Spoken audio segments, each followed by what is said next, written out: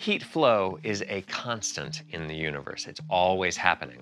Warmth is going from things that are hot into things that are cold. It's happening around us, it's happening within our homes. In order to understand how to make the heat and keep it there, you need to understand a little bit more about the metrics. And so we use something like this. You can buy a thermometer hygrometer, or if you just go to the store and ask for something that tells you what the temperature and relative humidity is in a space, they're very available for like 20 bucks.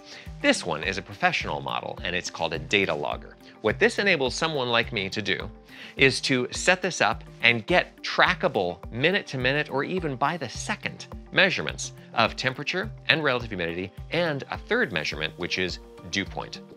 Dew point is important to understand because the main difference between indoor spaces and outdoor spaces is the huge amount of surface area inside. And dew point is all about the interaction of the air's temperature and humidity with surfaces. So if I want to be able to predict and prevent surfaces becoming wet, because that's my nightmare, then what I would do is understand more about the metrics, which is, of course, what we're doing on this show.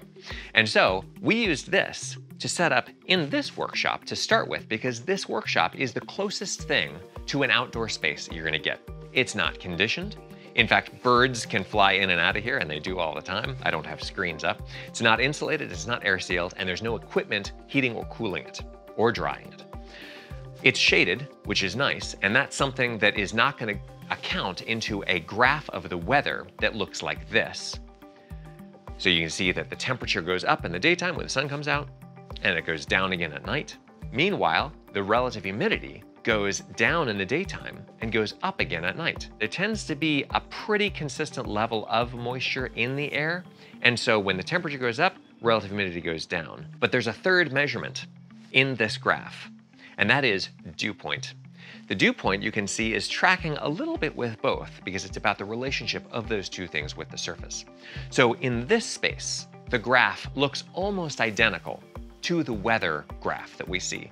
My graph is a little bit more detailed because my equipment is a little bit better. I'm able to get minute to minute readings instead of just hourly. So this space is a good way to understand the most minimal utilitarian shelter we could have, where we're just trying to keep the rain out, we're trying to keep big animals out of here and people, and we're trying to make sure that wind doesn't blow things around in here. Not very sophisticated. Let's look at a couple other spaces where we're trying to use some of the techniques that we show in home diagnosis to try and harness the power of heat flow. Now this is the first step towards making a space that's a little easier to condition. So this is actually one of the original structures on our property. It's the old spring house. And I mean, you couldn't even see it when we got here. It was so overgrown, there was a tree growing out on top of it. So we call it Troll House. This Troll House has something that the workshop did not. It's called thermal mass. It means it's made out of heavy stuff. That makes it harder to heat up in the morning and it retains its heat at the end of the day when the sun goes down. If your house is made out of something like solid brick or concrete or stone, then it would have thermal mass, which is a nice thing, but you can see that it's not insulated or air sealed, so it's not really like a house. But it is considerably more controlled than the workshop was, where the workshop can change temperature on a dime and the graph looks very ragged. This space looks a lot more smooth, and you can see even that when the sun comes up in the morning, starts warming it up, but then it moves into shade and it dips right back down, which is something that you would not have seen with the workshop.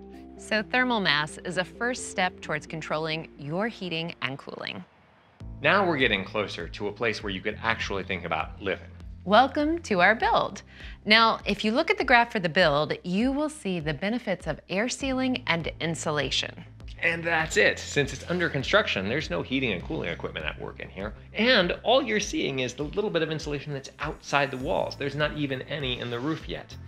This is how you start to really tamp down on the way that the weather tries to yank your living space around. But this really isn't real life. So let's go see what real life looks like.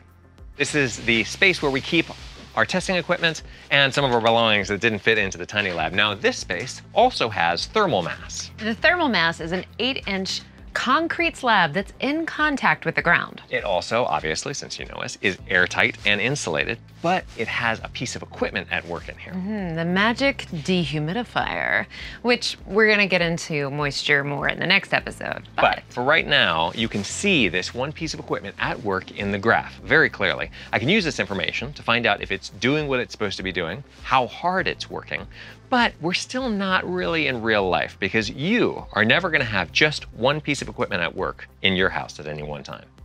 Now we come to the temperature behavior of a real life lived in house. Where we have not just one, but two pieces of equipment that are hopefully working in tandem to tune the space. We have the HVAC system and a dehumidifier. And these two things are necessary together because when we were first on tour in this house, we actually refused to park it in the shade because if the HVAC system wasn't calling for cooling, then it wouldn't also dry the space. So we need to have both of these working together so that we can then park the house in the shade where it's gonna be more comfortable. And if you look at the graph of this house, it's much smoother, right? Except for you got real life. like for example, the big jump where my daughter left the door open. Or you forgot to set the dehumidifier back to the level that the baby changed it from the other day, or somebody leaves a window open, somebody leaves a fan on. These things happen, it's okay, but we hope to, in the final episode of this season, show you what looks like almost a perfectly flat line in our big house that we're building. Using a systems approach is how you can control your own home's temperature behavior.